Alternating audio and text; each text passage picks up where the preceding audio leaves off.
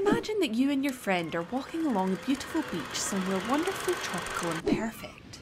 You're taking in the sea air, enjoying the feeling of the warm, fine sand between your toes. Looking back to see your trail of footprints in the sand, you notice something odd. Your friend's footprints are perfectly formed and beautifully shaped. Yours, however, looks somewhat more rounded, kinda blobby, and well, not so nice. Why is this? What's happened to your feet? Curious? Stay with me and I'll explain a possible reason for this and a lot more as we learn about the functions of the tibialis posterior muscle.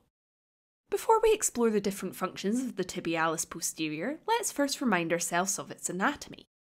As you can see on the screen, this muscle is found in the deepest portion of the posterior compartment of the leg, between the two bones of the leg, which are the tibia and fibula. At its proximal end, the tibialis posterior has three attachment sites. It originates from the posterior surface of the tibia, the posterior surface of the fibula, and the interosseous membrane of the leg that lies between the tibia and fibula. Moving down to the distal end of the leg, we can see that the tendon courses through a groove posterior to the medial malleolus of the tibia, along with the tendon of another muscle, the flexor digitorum longus.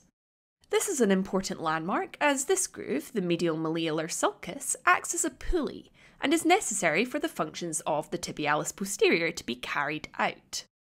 From the medial malleolar sulcus, the tendon passes to the plantar aspect of the foot, where it attaches to several bones, initially the navicular and the medial cuneiform bones, before proceeding laterally to the intermediate and lateral cuneiform bones, as well as the second through fourth metatarsals.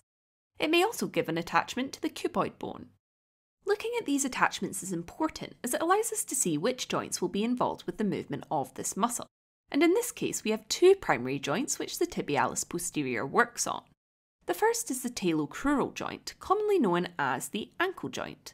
This is a hinge joint formed by the malleoli of the tibia and fibula, which articulate with the talus bone of the foot. The other joint we need to be aware of here is the subtalar joint, which is also known as the talocalcaneal joint, as it involves the talus and calcaneus bones. It's worth mentioning that the tibialis posterior also works on several other small joints located between the tarsal bones of the foot, which are known as the intertarsal joints. Like all muscles, the tibialis posterior needs some innervation to tell it how to behave. And here our nerve of interest is the tibial nerve, which is derived from the L4 and L5 roots of the lumbar plexus. The tibial nerve is the larger of the two main branches of the sciatic nerve. Now let's turn our attention to the functions of the tibialis posterior.